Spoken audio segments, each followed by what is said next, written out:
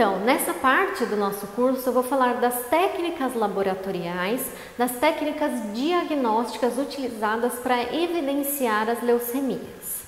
Então, uma das técnicas mais utilizadas e uma das técnicas que eu mais consigo detectar a presença de uma leucemia é através do hemograma. Geralmente, esse é o primeiro exame que se faz e que se consegue perceber que tem alguma coisa errada com o meu paciente e aí então começam algumas investigações.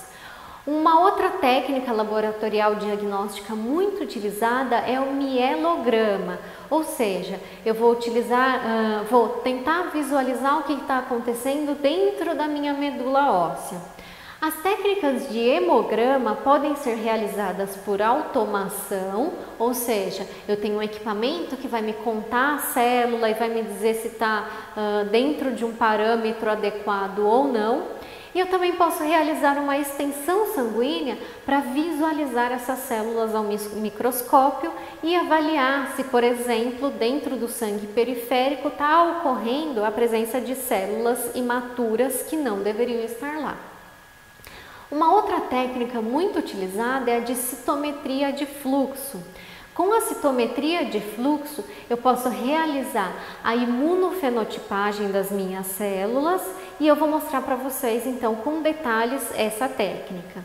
Uma outra técnica muito utilizada no diagnóstico diferencial das leucemias é a imunoistoquímica ou citoquímica e por último a citogenética também é útil para uh, diagnosticar esses pacientes. Então, o diagnóstico de uma leucemia é bastante complexo e eu vou mostrar os aspectos de cada um desses exames para vocês.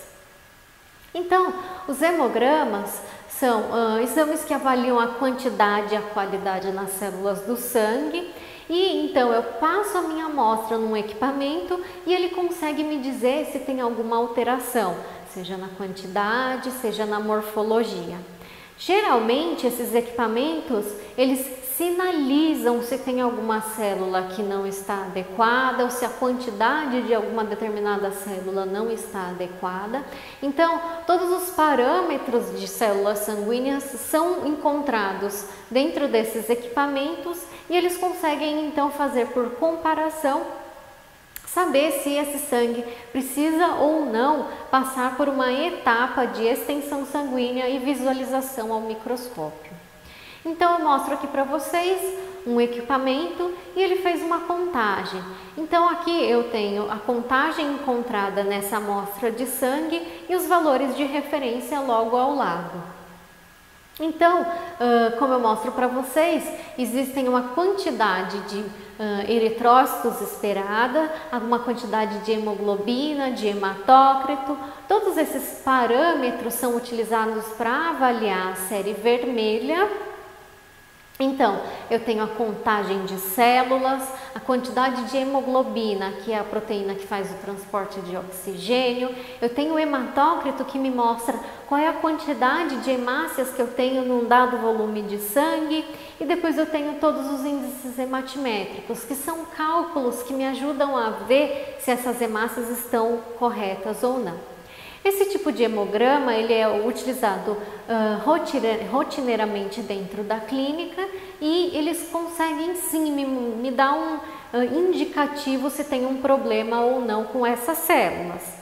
Já no leucograma ele vai me mostrar a quantidade de leucócitos totais e dentro desses leucócitos qual é a quantidade de neutrófilos que eu tenho e se eu tenho alguma célula, como vocês podem ver, de metamielócito ou bastonete, que são células mais imaturas, e a quantidade de uh, segmentados, que é o que se espera dentro dos leucócitos, que tem uma quantidade maior, e aí então, uh, por conseguinte, todas as outras células, quantos eosinófilos eu tenho, quantos basófilos, quantos linfócitos, monócitos, e por último, quantas plaquetas. Então, esse é um exemplo de hemograma. Um contador automático me libera esse resultado. Caso surja alguma célula imatura, como por exemplo metamielócitos, os Colaboradores da área da hematologia vão realizar uma lâmina e fazer uma visualização do microscópio para confirmar aquilo que o equipamento mostrou. Então, é, esse resultado que eu estou mostrando para vocês é um resultado normal, não tem alteração nenhuma e do lado tão, estão, então, vocês podem encontrar os valores de referência. Então, um hemograma é um exame que mostra a quantidade de células que eu tenho e se essas células estão com alguma morfologia alterada. Eles são indicativos de outras patologias, mas é a partir da interpretação realizada pelo médico que eu consigo uh, ter uma ideia se tem algum problema com esse paciente. E os valores de hemograma, eles podem sim sofrer algumas interferências como sexo e idade, portanto, eu tenho valores de referência para adulto, para criança, para bebês, para mulheres e para homens. Se a coleta foi feita em determinado momento, pode-se sim visualizar uma, uma leve variação nesses resultados. Se a pessoa está de jejum, se ela não está de jejum, faz sim diferença. Os exercícios físicos podem interferir nesses uh, resultados por conta da vasodilatação uh, causada pelo exercício físico em si. E se uma pessoa ela tem obesidade, por exemplo, ela, ela encontra-se num estado pró-inflamado, isso pode interferir nas suas uh, células sanguíneas. Mas eu vou mostrar para vocês que todas essas diferenças de sexo, idade, horário da coleta e jejum, elas vão produzir diferenças mínimas, muito pequenas. E aqui eu vou mostrar para vocês um, um, um, o que acontece de verdade. Eu tenho uma amostra de sangue normal do lado direito, como vocês podem ver, eu tenho um tubo que foi coletado uma amostra de sangue, esse é um tubo coletado com EDTA, que é um anticoagulante, e esse sangue foi levado para uma centrífuga. Após o processo de centrifugação, foi, uh, tem uma, ocorre uma separação. Então, na parte de cima eu tenho plasma, na parte inferior as células vermelhas, que essa, são as células com essa coloração mais escura, e na interface entre o plasma e as minhas células vermelhas eu tenho uma leve camada de leucócitos e plaquetas. Então, isso é, aparentemente é um sangue normal. Já do lado direito, eu tenho uma amostra de sangue de paciente que está com leucemia. Como vocês podem ver, indicando aí pela seta vermelha, a camada leucocitária está muito grande. Então, isso já é um indicativo de uh, uma patologia. Então, quando eu pego um tubo de sangue, eu passo ele por um processo de centrifugação e eu visualizo essa camada grande, é importante sim fazer a investigação, porque isso é indicativo de uma patologia. Pode não ser uma leucemia, pode ser uma reação leucemoide, mas uh, precisa se investigar e visualizar quais células que eu tenho aí para uh, auxiliar o diagnóstico. Obviamente que o diagnóstico não é fechado somente com hemograma, existe uma outra, uma série de outros exames que precisam ser realizados para se detectar qual é o tipo de leucemia. Então, o hemograma ele vai ser uh, útil no sentido de é, evidenciar as alterações principalmente de quantidade de células na, na corrente sanguínea decorrente da leucemia. E esses exames de rotina vão me mostrar a presença de células imaturas, presença de células blásticas, que são fases mais jovens ainda, que deveriam estar dentro da medula óssea, mas vão parar na corrente sanguínea em decorrência da leucemia. E se tem alguma célula que está com uma proliferação excessiva, mas essa célula pode estar tá com uma aparência madura. Então, para introduzindo já um pouco sobre as leucemias, eu tenho as, as, leucemias que vão levar ao surgimento de células muito imaturas para a corrente sanguínea e eu tenho leucemias que têm uma proliferação excessiva, as células têm um aspecto de célula madura, mas elas vão estar em grande quantidade e então indicando que tem algum processo que está sendo não está muito bem regulado. Dentro dos termos uh, utilizados em hematologia para se referir às quantidades de células sanguíneas, eu tenho a leucopenia, que indica que aquele paciente está com uma redução dos leucócitos totais no sangue, ou eu posso ter uma leucocitose, que indica o aumento da quantidade de células totais no sangue. A neutropenia indica uma redução de, de neutrófilos e a neutrofilia quer dizer então descreve um estado onde eu tenho um aumento muito grande de neutrófilos. E assim por diante, eu tenho a linfocitose para aumento de linfócitos e a linfopenia, que é a redução do número de linfócitos. E a anemia, que, é um, que quer dizer um estado de redução, seja da hemoglobina, seja da quantidade de eritrócitos, ou seja, do tamanho dessas células. Porque os, os eritrócitos, para que eles uh, funcionem de maneira adequada, eles precisam estar com formato e tamanho adequado.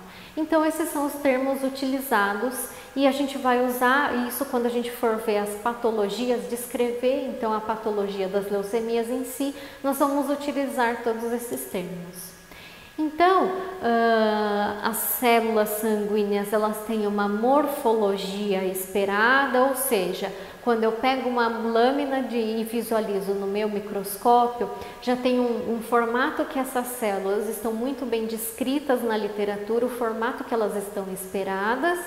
E aí eu trouxe a imagem de algumas delas, são todas, cada linha representa células todas das mesmas linhagens, então eu tenho os neutrófilos, eu tenho os bastonetes, eu tenho os linfócitos, os monócitos, os eosinófilos e os basófilos. Então, essas células elas já têm uma morfologia uh, esperada. Essas são então fotos de células maduras e quando eu visualizo uma amostra de sangue no microscópio, são essas imagens que eu espero encontrar. E aí então eu faço o que a gente chama de diferencial, eu faço uma contagem para saber quanto tem de cada uma dentro de uma amostra de sangue. Então, essas células têm uma morfologia conhecida, no entanto, se surgirem células com uma morfologia de célula jovem, isso é indicativo de uma patologia, não necessariamente uma leucemia, mas precisa ser investigado. Então, uh, eu vou mostrar para vocês uh, como que a gente chega nesse exame, como é que a gente chega nessa, nesse tipo de imagem e aqui eu estou mostrando para vocês então uma extensão sanguínea de paciente com leucemia mieloide crônica e eu tenho então promielócito, mielócito, metamielócito. Eu sei que as imagens que eu vim mostrando para vocês até agora são imagens bastante nítidas, são imagens muito didáticas. No entanto, quando eu vou para o meu microscópio, quando eu estou dentro do meu laboratório, faço uma coloração de lâmina, é esse tipo de imagem que eu vou encontrar. Portanto, o diagnóstico das leucemias e o conhecimento de hematologia é muito necessário, porque você tem que estar muito bem treinado para conseguir se diferenciar entre um tipo de célula e outro. E nem sempre as células vão estar uh, muito nítidas, muito fáceis de, ser, de serem visualizadas. Então, o que vem a ser uma extensão sanguínea? A extensão sanguínea é um auxiliar no diagnóstico uh, de hemograma. Então, quando eu faço, realizo um exame de hemograma, se o meu equipamento identificar que tem algum problema com aquela amostra, no sentido de que tem alguma célula que não deveria estar lá, tem uma célula que está lá, mas ela não é esperada de ser encontrada lá, eu posso fazer uma lâmina. A lâmina nada mais é do que um pequeno retângulo de vidro limpo onde eu vou colocar uma pequena gota de sangue, cerca de 10 microlitros. Então eu pego a minha amostra de sangue, aí como vocês podem ver na figura A, e eu vou precisar de mais uma lâmina que se chama lâmina extensora. Então, no primeiro momento, na figura A, eu mostro que eu coloco uma gota de sangue e venho com a minha lâmina extensora até encostar na minha uh, amostra de sangue, que é representado aí pela figura B. e eu vou deslizando essa lâmina extensora, que é a lâmina que fica por cima, e fazendo um movimento uh, direto para que essa gota de sangue seja espalhada de maneira bastante homogênea nessa lâmina, que é uma, que mostra a figura D. E aí essa lâmina, uma lâmina ideal, ela tem três uh, três compartimentos, ela é dividida em, em três uh, uh, conformações diferentes. A área 1, como vocês podem ver indicado pela seta vermelha, é uma área muito densa, é difícil visualizar as células nessa área. Já a área 2 é uma área intermediária, uma boa área para se fazer uma a diferenciação dessas células, porque elas estão afastadas umas das outras, então para visualizar no microscópio, isso facilita bastante. E já a área 3, que é a área da cauda dessa lâmina, ela é uma área muito fina e é difícil observar. Então, o ideal, quando você coloca essa lâmina de sangue no microscópio, é visualizar dentro da região 2, que é onde você vai encontrar uma densidade de células bastante grande que fica bastante representativa e fácil então de fazer essa visualização. Uh, aqui eu estou mostrando para vocês alguns problemas que podem acontecer no momento da produção dessas lâminas. Fazer a lâmina dentro do laboratório requer prática e treino, mas é possível sim uh, fazer essas lâminas de maneira adequada. É um método bastante simples, mas ainda utilizado até hoje é, e auxilia muito no diagnóstico uh, da área da hematologia. Então, eu vou comentar um pouquinho uh, com vocês cada um dos problemas que podem acontecer no momento dessa extensão sanguínea, que vai então me gerar uma lâmina que não é tão boa assim. Então, o ideal é você, uh, se você está começando a trabalhar nessa área, treine bastante, porque depois que você pega o jeito de fazer, isso facilita bastante. Você já vai estar tá mais treinado e esses problemas não vão acontecer tanto assim. Então, na lâmina A, essa lâmina está inadequada porque ela ficou muito. Uh, ela ficou com essas bordas irregulares. Isso pode acontecer porque a lâmina extensora, que é a lâmina que eu uso para espalhar o sangue, ela está com as bordas irregulares. Então, a lâmina extensora ela tem que estar tá bem lisa. Ah, o B é quando a pessoa vai fazendo uma pausa durante a extensão. O movimento da extensão sanguínea ele tem que ser bastante rápido e contínuo. Nessa imagem B eh, é a representação de uma amostra que foi feita por alguém que foi pausando a extensão no meio do caminho. Na C, eu tenho um movimento muito rápido e aí o sangue não conseguiu espalhar até onde ele deveria ser espalhado para uma correta visualização. No caso dessa C, é, as células ficam muito aglomeradas e dificulta a visualização. Na D, a amostra de sangue foi muito pequena, por isso que é importante você padronizar qual é a quantidade de sangue que você utiliza para fazer a sua extensão sanguínea, porque assim toda vez você vai conseguir fazer ela de uma maneira adequada. Na E, a gota de sangue estava muito concentrada e no momento de colocar a lâmina extensora, o sangue não teve tempo de espalhar o suficiente, então ficou muito concentrado no meio e isso também dificulta um pouco a visualização dessa lâmina. Na F, eu tenho essas uh, estruturas esbranquiçadas, elas são por conta de sujeira presente na lâmina, geralmente gordura. Então é importante não manusear essas lâminas, pegar elas sempre limpa e, se possível, fazer uma limpeza delas com os reagentes adequados e então esse problema aí representado pela letra F vai ser evitada. No G, ah, a pressão que você fez com a lâmina extensora, ela não, não estava regular, então isso causou esse desvio para mais para um lado do que para outro. E na H, o sangue secou e aí teve uma demora na confecção dessa lâmina. Então, quando você começa a fazer uma lâmina de sangue, você já tem que fazer a extensão dela imediatamente. Obviamente que tudo isso, uh, com o passar do tempo e com o treino, vai sendo reduzido.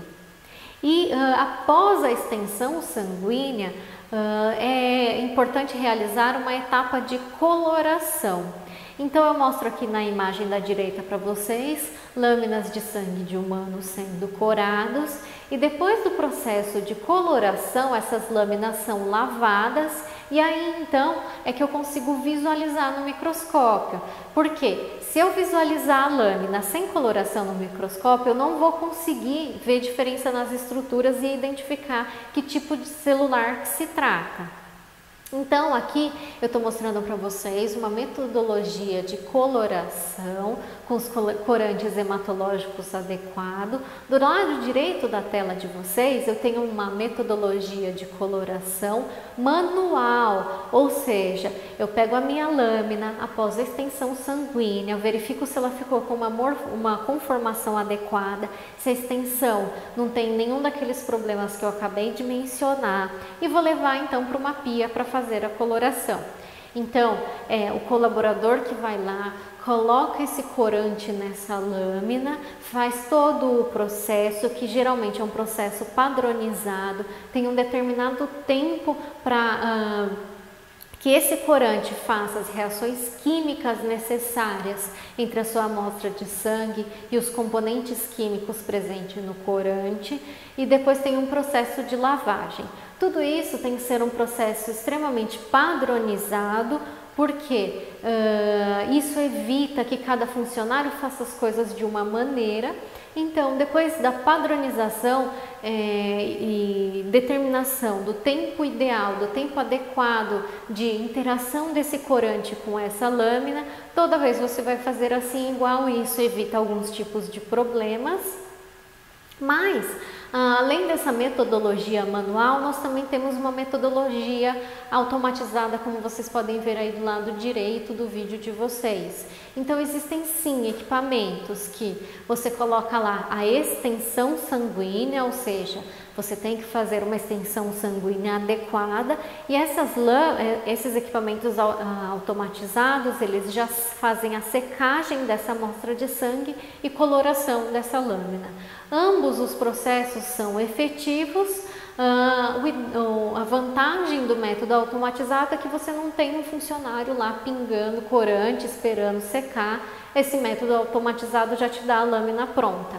No entanto, a extensão sanguínea tem que ser bem feita, tanto no método manual quanto no método automatizado, para que eu faça então uma, um diferencial, uma visualização no microscópio adequado. Então, o que eu estou mostrando para vocês, essa é uma imagem, uma imagem bastante didática, mostrando as células sanguíneas após uma extensão e coloração. Os corantes que nós chamamos de corantes básicos, eles são provenientes, por exemplo, do azul de metileno. E eles vão ah, ter uma afinidade por estruturas ácidas. Dentro de uma célula, por exemplo, uma estrutura ácida é o ácido desoxirribonucleico, o DNA. Então, eu espero que o núcleo dessa célula, onde está confinado o DNA, ele vai ficar mais azulado do que o citoplasma dessas células. E por, no na outra uh, extremo nós temos o corante iosina, que ele tem uh, afinidade por estruturas básicas e são chamados de acidófilos e eosinofílicos. Então, com esses dois corantes e as nuances que esses dois corantes produzem, eu consigo visualizar as minhas células. Então, é através da coloração que eu consigo dizer o que é um eosinófilo, o que é um basófilo, o que é um linfócito, o que é um monócito e pelo formato. Então, eu preciso ter uma boa coloração para produzir um bom resultado hematológico. E aí, seguindo com o curso, então, aqui eu mostro para vocês uma extensão sanguínea, o que é se esperado de encontrar num sangue normal, numa amostra de sangue de um paciente ou de uma pessoa que não tem nenhum estado fisiológico e aqui eu estou mostrando somente a morfologia. Eu não estou me referindo aqui às quantidades. Então, nesse slide eu estou mostrando para vocês qual é a morfologia normal de uma hemácia, quais são a, qual é o formato que se espera ter. Então, a hemácia é um disco bicôncavo com cerca de 7 micras, ela não tem núcleo, então eu não consigo ver nenhuma estrutura basofílica dentro dela. Já as plaquetas, eu espero que elas tenham essa coloração um pouco mais basofílica do que eosinofílica. Elas são bem pequenas comparado com o tamanho das hemácias. Uh, numa extensão sanguínea, elas podem estar aglomeradas ou espalhadas na lâmina. Lembrando, aqui eu só estou mostrando a morfologia, não estou me referindo às quantidades. E aí, então, um neutrófilo que está segmentado, um eosinófilo que ele tem esses grânulos de eosina no citoplasma e ficam com essa cor mais avermelhada. Eu tenho os basófilos, que têm essas estruturas mais azuis, mais basofílicas, isso então dá a característica do nome dessa célula. Eu tenho o monócito, que é uma célula um pouco maior, com um núcleo um pouco maior. O linfócito, que tem uma relação núcleo-citoplasma menor do que a do, do monócito, então tá aí, o núcleo dela ocupa quase toda a, a célula. E eu tenho um linfócito pequeno, que é também um linfócito, mas uma célula um pouco diferente. Então, mostrando que aqui todas essas células visualizadas ao microscópio com uma lente de imersão, elas possuem essas características. E então, uh, eu mostrei para vocês o hemograma, mostrando uh, que uh, o hemograma ele pode ter uma diferença na quantidade e na minha qualidade, na morfologia das células, e isso vai interferir então uh, no meu diagnóstico. A partir do momento que eu encontro quantidades diferentes ou morfologias diferentes do esperado, pode ser um indicativo de leucemia e precisa continuar a investigação.